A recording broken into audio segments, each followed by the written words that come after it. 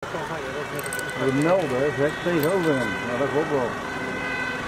Zoals je staat. Hij zegt, joh, je er niet druk te maken, want dit is mijn, mijn vader.